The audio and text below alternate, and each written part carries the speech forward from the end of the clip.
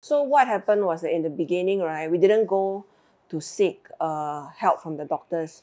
We thought that it was just a normal skin condition. I didn't know that it was eczema uh, the first few months. If I were to lapkan untuk dia pada tak sabun, uh, nanti dia rasa sakit.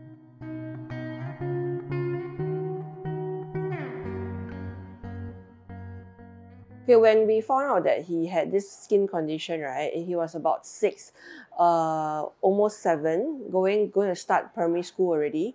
So it was a very painful experience for us because we didn't know what to deal, how to deal with it. Because when it first started, it began from a small uh, wound. It actually spread throughout his entire body. He refused to bathe because he told me that it's very painful. So when he stepped into the shower, once the water hit him, well, he started boiling and screaming. That was like the worst that we had to go through. And then when we when his when he sleeps, you know, when he wakes up, we will see that the entire bed sheet is stained with blood. His clothes will be stained with blood. And then when he comes back from school, because it's hot in school, it triggers, you know, the itchiness he he would scratch and his uh, uniform would be stained in blood as well. So as parents, when we see that, it was really heartbreaking.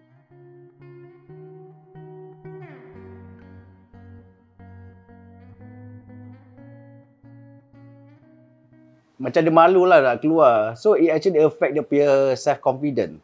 Um, nak nak dengan Singapore punya weather kan panas.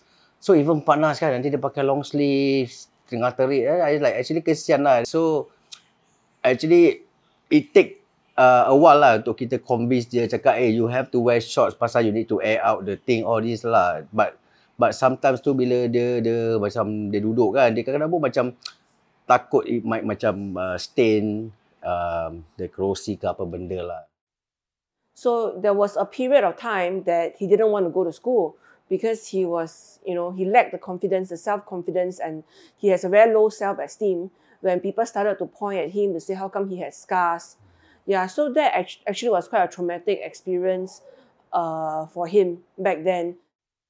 Yeah, we're concerned that kita takut pasal macam takut eh nanti berjangkit yang pigang macam uh, but so far alhamdulillah lah you know all dia punya parent dia pun tahu kan this type of thing jadi dia pun uh, bilang dia punya children tu kan actually all this macam normal lah tak payah tu. So so far um, nak katakan sekarang baru dia pelan-pelan more sociable lah compared to last time. Uh, dia memang malu.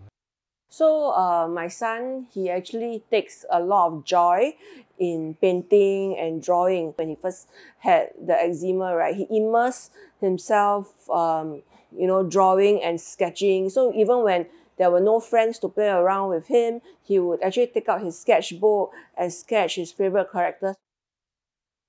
We wrote a letter to the school to inform them that he has this condition. So I think during primary four or primary three, I can't recall, the teacher actually spoke to the class to say that, you know, Adriel has a skin condition, so we need to be a little bit more sensitive and more encompassing to to his needs, lah, that kind of thing. So he got a few friends in school that takes care of him. You know, if he's bleeding, you know, his friend will give him a plaster. And I'm very glad that, you know, I, I happen to know this group of friends and they see past his skin problems and then just treat him as a normal boy. They'll go down and play and, you know, do stuff regularly, which I'm very thankful. Lah.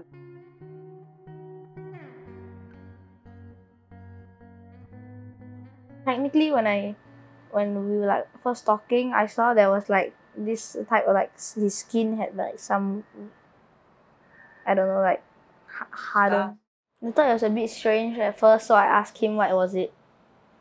Then it, he told me it was eczema. I just I just said that uh I have eczema.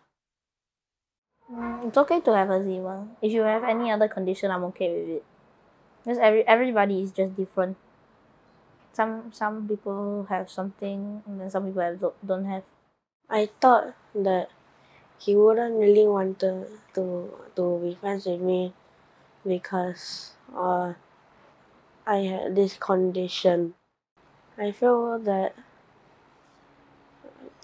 Nathan is a good friend and he doesn't really care about whether people have conditions or any disabilities or not and he just goes what he has say like Adriel has eczema, he's born with it. He just he can't change. If if you have something when you're born and it will stick to it, you have to get used to it. And for my friend here, even though he look he, he might look a bit strange, it's just it's normal. Some people don't some people are not perfect. No one is.